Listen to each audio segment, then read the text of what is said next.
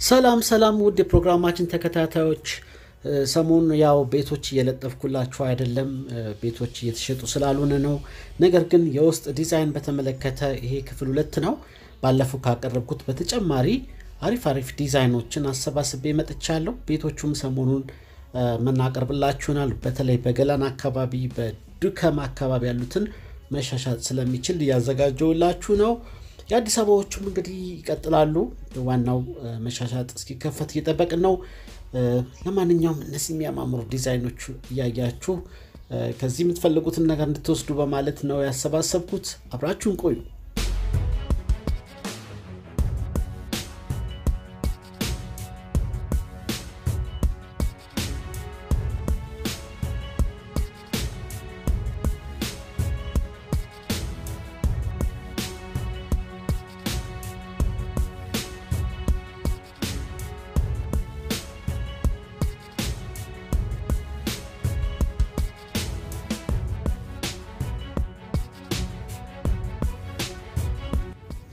እሺ ውድ ተመልካቾች እንዴት ናችሁ? ይህን የዲዛይን ፕሮግራሜን እንዴት አያችሁት? አሪፍ አሪፍ ነገሮች ናቸው።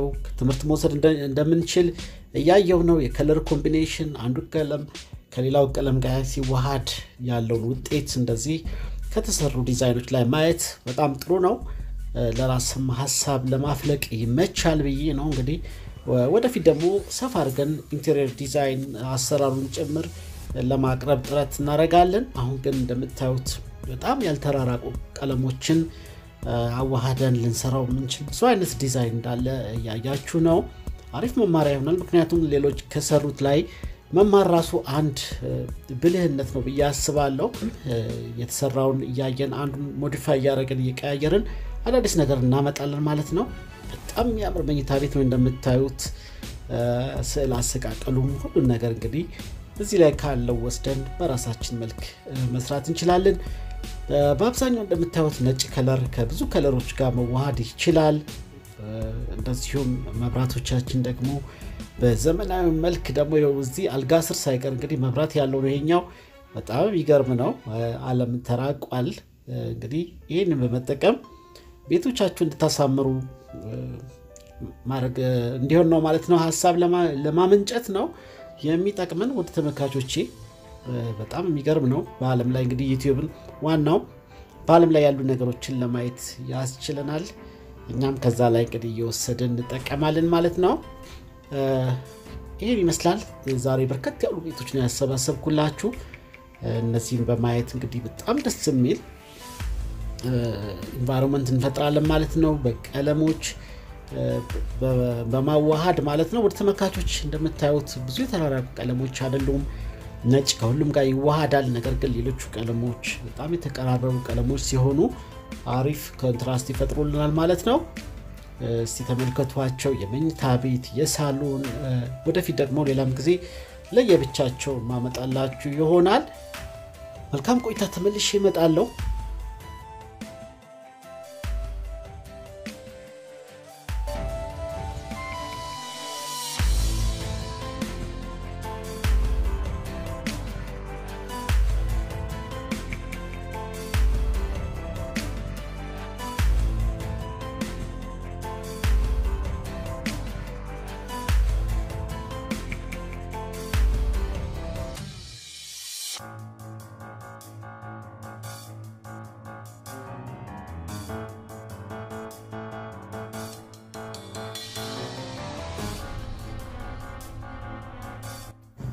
እሺ ውድ ተመልካቾች አሁን ደግሞ የምትመለከቱት ይሄኛው ዲዛይን እዚህ አዲስ አበባ የሚገኝ ነው። በጣም አሪፍ አድርገው ነው የሰሩት። ከኢንተርኔት ላይ ነው የወሰድኩት። እንደምታዩት በጣም ኮዚ ነው። ቀለሞቹ የሚከብዱ ቀለሞች አይደሉም። በነገራችን ላይ ከዚህ ከተሰሩ እንደምታዩት እዚህ ላይ አሁን ሁለት አይነት ቀለም ነው የሚታየው። የእንጨቱና የነጩ ውህደት በጣም አሪፍ ሆኖ ሰርተውታል። አፓርትመንት ነው። ውድ ተመልካቾች እዚህ kitchen ኡ አካባቢም እንግዲህ ያለው እንደምታዩት በጣም የተራራቀ አይደለም። አሁን እዚህ ላይ ደማቅ ቀለሞች ስለሌሉ ሁለቱ አይነት ቀለሞች ተዋህደዋል ማለት ነው። በነገራችን ላይ እንደዚህ ቀለል ያሉ light color ኦች ቤትንም የማስፋት ባህሪ ያላቸው ወደ ነጭ የሚጠጉት ማለት ነው። ደመቅ ሲሉ ደግሞ ቤትን የማጥበብ ነገር አላቸው። በጣም የሰፋን ቤት ለማጥበብ የተወሰነ part ኡ ላይ ደመቅ ያለ color ማድረግ ይቻላል፣ ጠቆር ያሉትን ጨምሮ ማለት ነው።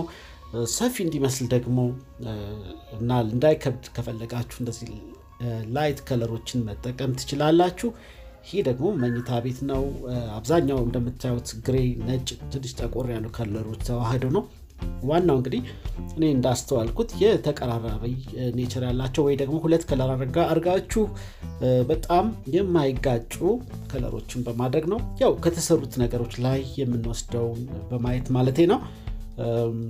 ይህን ይመስላል እንግዲህ የከተማችን ላይ ያለው አልቆ አሁን ዓለም አቀፍ እንትኖችን ደግሞ እናያለን ማለት ነው።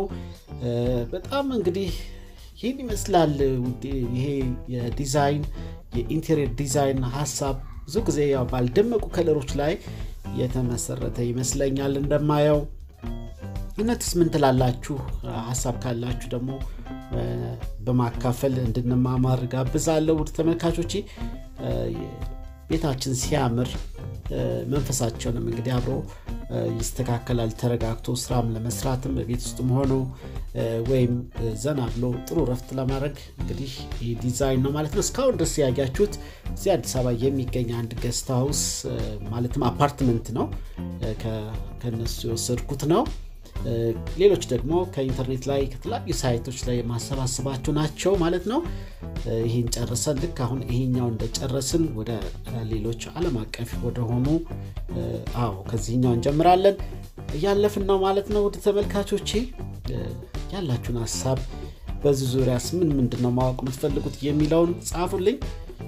በተረፈ በያላችሁበት ሰላም ጤና እመኛለሁ።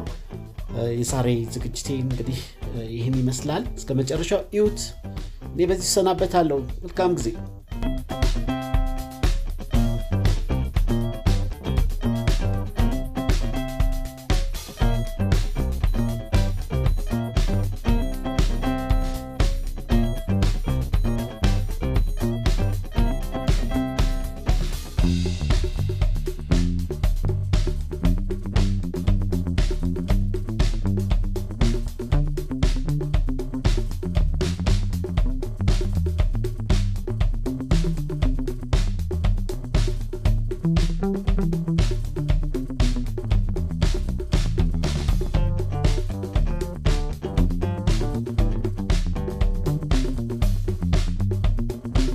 Thank.